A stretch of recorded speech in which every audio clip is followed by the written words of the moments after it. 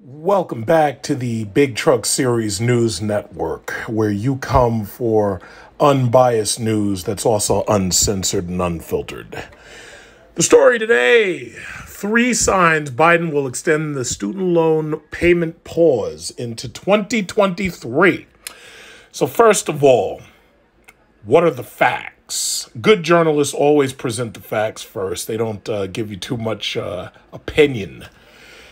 Time is running out for President Joe Biden to decide about extending the current pause on federal student loan payments and interest, which is slated to end on August 31st, 2022.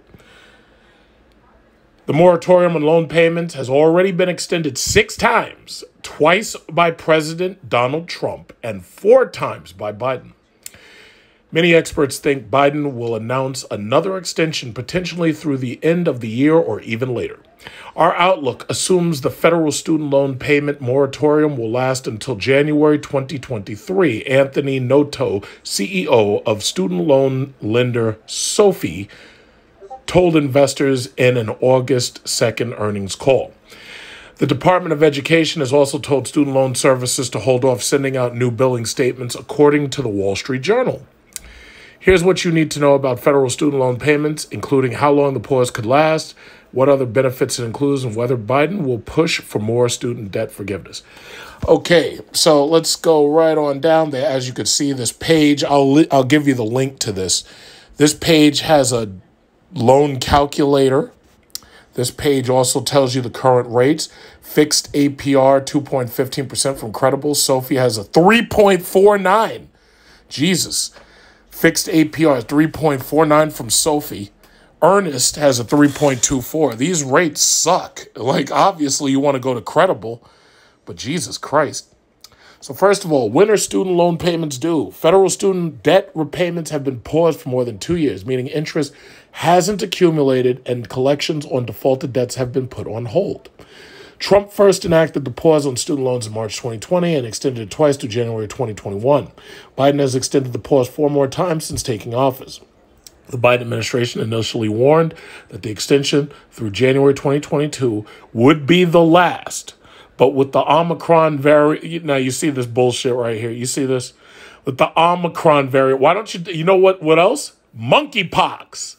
So there's a very good possibility oh, yes, you know, well, we've decided as the Biden administration to extend the student loan moratorium due to monkeypox. Biden decided to continue the moratorium until May 1st, 2022. All right, so you got a March 31st letter from Chuck Schumer. I could Schumer and Warren, so they're basically probably trying to get him to extend it more. But here are the reasons why that they believe here at CNET that the loans might be paused again. Inflation is still a major issue. While the country has turned a corner on the coronavirus pandemic, the White House has repeatedly said decisions about pausing student loans would be driven by what's happening with the economy. As you can see, it says August 10th, grocery prices up 13%. Notice that they don't mention gasoline and oil prices, which are still high says excessive inflation has increased prices for almost everything, and most borrowers are likely not in a position to pay off their loans. Lenders were told to hold off contacting borrowers. It says the situation is that we're almost 30 days away from the planned resumption, and the Department of Education has been telling services to hold off on resumption communications for the last few months. Scott Buchanan, executive director of the nonprofit Student Loan Servicing Alliance, told the Wall Street Journal on July 25th Maybe the department expects that the White House will yet again kick the can down the road. Another extension could woo young voters in the midterm elections. Now, number three is what I've been talking about. Before I even read this, as I've mentioned a hundred times, most of the things that are happening right now are happening because the Democrats are expecting an ass whipping come November. So they can't give you money and basically bribe you into voting for them. So what they're doing is they're making you understand that the Republicans are going to allow it to resume, and we're your last best hope to make sure your loan payments don't resume anytime soon.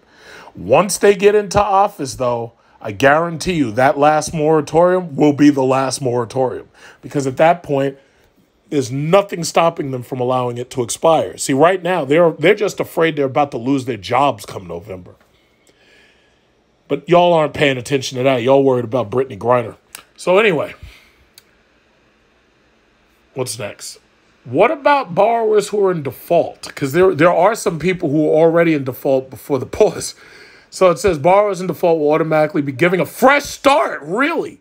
According to a statement from the U.S. Department of Education, their accounts will be returned to good standing and any delinquency will be cured, allowing them to repair their credit and get. Now, by the way, by the way, first of all, take it from me, somebody who's literally rocking the 850 credit score. Take it from me, credit repair don't happen overnight. You're talking about a four to five year process. I'll tell you like this I graduated college with my graduate bachelor's degree in 2005. My credit score when I graduated was about a 530. I've told this story a couple times because there's three different scores. My credit ranged between 500 and 550. The middle score was about 530. I didn't see 700s doing everything that I tell you about doing. I didn't see the 700s until about two to three years later. After that, I didn't get to 850 until August 2020. That's when I hit 850. So I will say it takes between five, possibly 10 years. And that's assuming you pay off all your debts. But you're talking about people who have their debts paused. But what the key here that you need to pay attention to is that the government wants their credit to be in good standing. How many times on these videos that I've made did I tell you the reason why they're so desperate to deal with student loans is because these kids are debt strapped.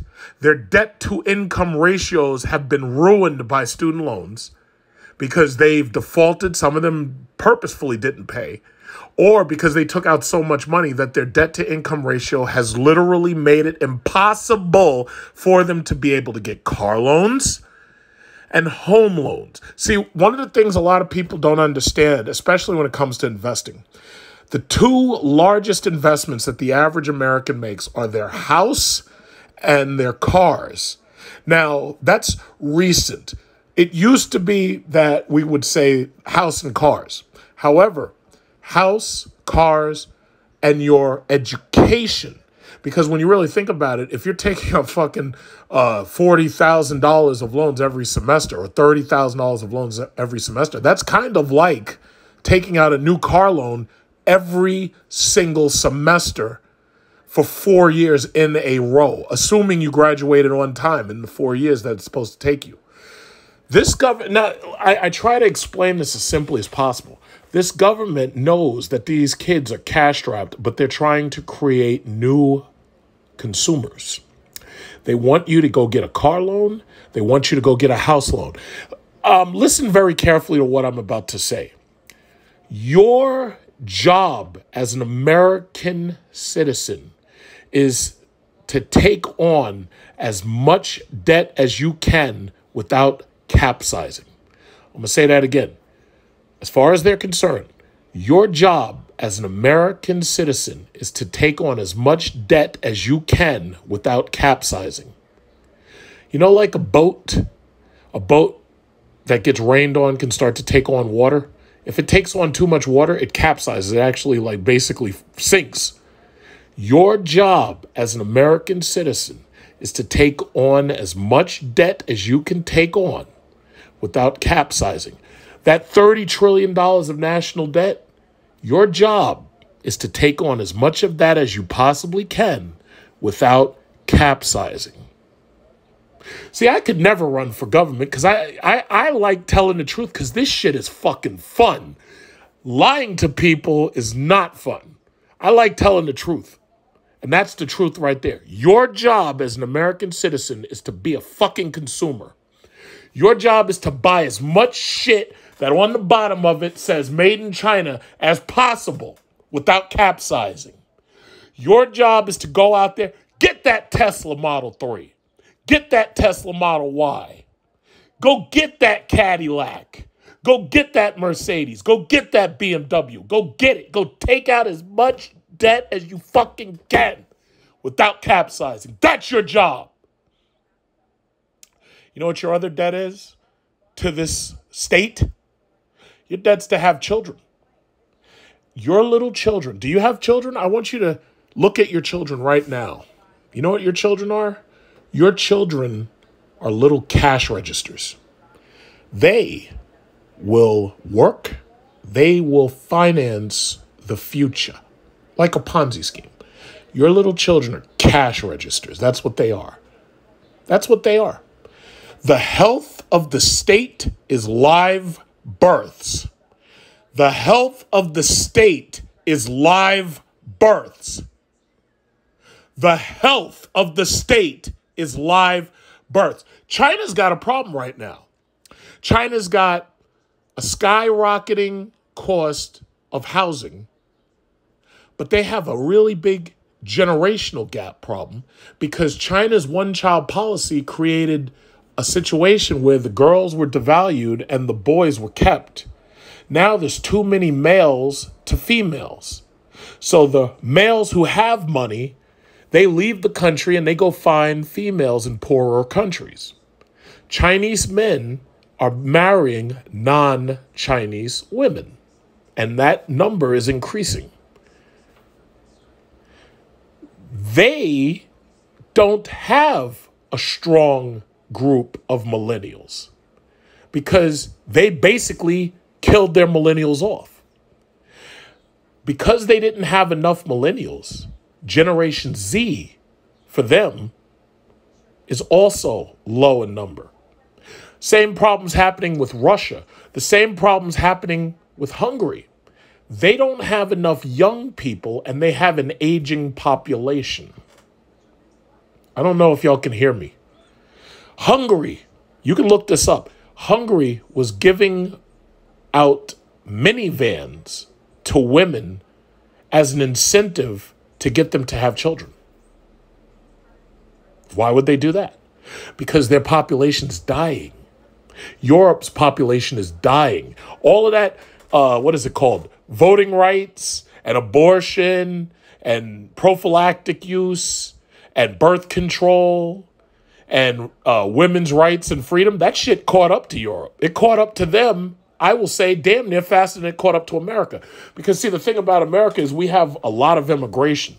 America has a government that understands that Right now, blacks are falling behind, whites are falling behind. The last census specifically said that the only two groups that are growing are Hispanics and Asians. They're having bigger families, they're marrying younger, they're having bigger families. The health of the state is live births. Your job as an American citizen is to have children and to take on as much debt as you can without capsizing. How can we take out that debt? Well, buy your kids an iPhone. Buy your kids an iPad. Go out and buy them a brand new gaming computer. Go out and buy them some really nice clothes that are expensive. Go out and buy them Fortnite and go buy them every single uh, PUBG game that comes out. Go buy them the Pokemon cards. All that stuff's made in China. Buy it, buy it, buy it, buy it, buy it. But when your kids are too old for that stuff, you know what you're supposed to do? Take out student loans. Take out student loans. I drink your milkshake. I drink it up. Do y'all get it? No, I don't think I don't think y'all trying to hear this. Y'all not trying to hear this. Why why am I even trying to explain this? I don't think you understand what you're up against. Will Biden forgive more student debt? Let's see. On the campaign trail, Biden said he'd support legislation canceling a minimum of 10,000. It sounds like lately it's going to be a maximum of 10,000 because thanks to Republicans not letting this asshole spend us into the fucking ground. But anyway, Democratic lawmakers would like to see that amount up to $50,000. Now, here's a question they printed out welfare stimulus checks two years ago. You're feeling what they are lying to you to your face and saying 9% inflation when really it's double that, it's 18% inflation.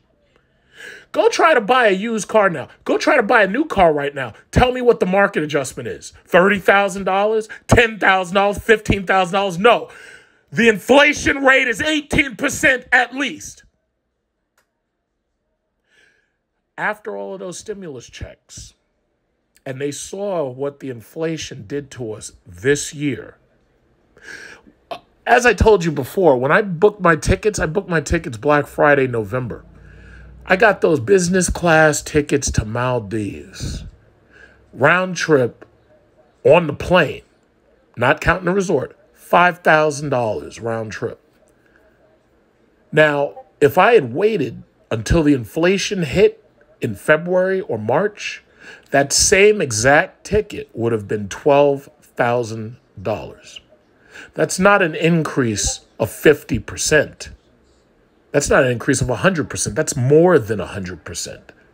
More, over $10,000. That's more than 100%. So, despite the fact that we've already seen what the stimulus checks did to us in the future, because now we're living it, these idiots want to print out $50,000 worth of student loan forgiveness. You know what? Why don't they just come right out and say, hey, let's cancel the 1.7 or 1.8 trillion dollars? Right? If a, uh, what, uh, well, I mean, why don't they just come out and say that? Why don't they just campaign on canceling out $1.7 trillion? Now, I'm pretty sure most people don't know about the Weimar Republic and why Germany went so far into debt. But basically, they went into debt because they started printing money after World War One, and they caused a recession, a recession, reflection. They caused a recession, and they caused the devaluation of their money. It was called the Weimar Republic. Vi starting with a W. If you look it up, W E I M A R. I think it's a M A R. It could, it's in German, so I'd have to look that up too. Bottom line is, if you look up the Weimar Republic, Google will know what you're talking about. Look it up. Find out what inflation does to a society. It basically brings down entire governments if you're not careful. $50,000. Could you imagine? First of all, let me explain it like this the average student is holding close to $40,000 in student loan debt if they did $50,000, that would only cancel out the debt for the average student. But some of the stories that you've seen that I've been reading, which is actually a common occurrence, a lot of these career students have been in school since the 80s. A lot of them have gone to medical school. They have over $300,000 of debt. Some of them approaching 1 million, some of them exceeding 1 million. Lawyers too. The average one of these lawyers went to school, $100,000 in debt at least. Y'all know what I y'all know y'all know these bills. Y'all see it every day because now they're talking about it every single day. Here's a question. They know $10,000 ain't going to do shit. But if the average person is carrying around $40,000, $50,000 might help them, but all it's going to do is put the rest of us on the hook for the next 20 to 30 years of inflation.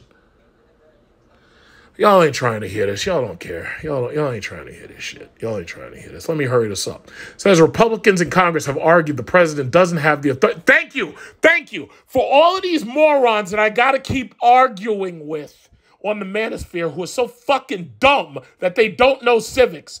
I've constantly talked about the role of the three branches. The presidency does not have the power to cancel out the debt. The Congress has the power of the purse, but y'all don't know that. These are the same motherfuckers who were smoking weed, skipping class, hanging on staircases. Why am I even bothering? Why do I bother? These are some. Why do I bother? Why do I bother? I don't know. I don't know. But anyway, but there are signs the White House sees it differently. Following the Department of Education's revamp on its public service loan forgiveness program in October 2021, more than 750,000 borrowers have had their loans extinguished. 750,000 borrowers, totaling more than 18.5 billion as of May 2022. In 2019, Harvard's Law School Project on Predatory Student Lending filed suit against then Secretary of Education Betsy DeVos, really, claiming her office had stalled applications for the Borrower Defense to Repayment Program. Um, the Biden administration in July agreed with the plaintiff's argument. Obvious, yeah, obviously. Um, Forbes reported this month a federal judge granted preliminary approval to a settlement that would give some 200,000 defrauded borrowers about around 6 billion in their debt relief. Well, first of all, when you're talking about fraud, that's a totally different situation. See, the average I want y'all to understand something. What they try to do is they try to lump different things in together. There are people who went to institutions that were either unaccredited or they were giving out bullshit degrees. Those people definitely were defrauded. Those people kind of deserve to have their loans repaid or their debt canceled. However, those aren't the people we're talking about. We're really talking about the average kid, C student, D student, F student that goes to college, walks in the door, applies for a loan, signs on the promissory note, and ends up over $100,000 in debt and probably drops out of school. I, uh, there's a statistic that I've seen that women right now hold more than two thirds of the student loan debt. So obviously, the special interest group that you're watching out for right now is females. Women want you to pay for it. Hey, men of the manosphere, what are y'all doing politically about the fact that the women hold two thirds of the student loan debt and now they want you on the hook for it. They want you on the hook for it the same way they want you on the hook for these babies, whether they're yours genetically or not. I believe there was a new law that's either uh, in process or been passed, and they're talking about uh, fathers who don't live with the mothers and aren't married to the mothers need to do a DNA test in order to show that they are actually the father before they're forced onto the child support rolls or sign that birth certificate. Yeah, well, guess what? They should have done that years ago. It should have always been like that. First of all, if you have not had the DNA test, you shouldn't be paying. Because for all you know, all she did was have a hot girl summer or a wild night, and that ain't your kid. So I'm all for it. As far as I'm concerned, if it's your kid genetically, yes, you should be on the hook for it, period. If it's not your kid, you shouldn't be on the hook for it. And if you've spent any money, you should be reimbursed by the mother. That's how I feel about it. Vote for me. That's what, I can't run for public office because when they if they try to hand me some fucking teleprompter and I see bullshit on it, I'm not reading it. I can't run for office. They destroy the the the the uh the machine, the Democrat machine. They destroy me in five minutes. They'd get they would pull up all of my YouTube videos and be like, "Yeah, this motherfucker's crazy. You can't vote for him. Vote for Biden's son Hunter. So Biden's son Hunter's the better candidate. Vote for him instead." Oh yeah, they'd pull up my YouTube videos. I'd be done. So I'll never end up running for public office because they I'd be done. So I'll just have to be satisfied with being a low level a guy who retires on a hundred fifty thousand dollar pension, and I just go overseas and live on a foreign island with some young girl as a wife because I'm, I'm marry her so she could serve me the buko juice in wedlock. Because when I have children, I don't want nobody challenging and be like, "Hey, those are not your kids." I'd be like, "No, no, no, those are my kids. Look at them; they black." But anyway, long story short, it says whatever Biden decides about more student loan forgiveness, borrowers and financial institutions alike are eager to hear it. At an April 28th White House press conference, the president said he'd make a decision on student loan debt forgiveness in the next couple of weeks. So thank you for listening to the Big Truck Series Review News Network here. Um, as far as I'm concerned, it looks bleak.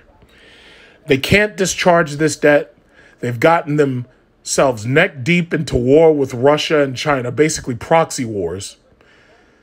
They're terrified of China taking over Taiwan to the point they passed that CHIPS Act and they damn near didn't even try to fight it because they know they know that they're going to have problems coming in the next couple of years. They know it. And now you've got a population of kids who can't take out loans. You got a population of kids that's strapped with debt and they haven't even become workers yet. And let's say this even if you cancel out all of their loans, you think they're going to be able to run out and buy a house? Of course not. The housing market is a mess right now. All the houses have pretty much been bought up. Any house that hasn't been bought up is being bought up right now while I'm making this video. Any of the ones that haven't been bought up while I'm making this video, well, you could bet that the Chinese investors and the Indian investors, they're planning to buy those up after I'm finished making the video. It looks bleak. It looks like you and your family of kids and your kids' kids are going to be a couple of generations of permanent renters. But me? Oh, no.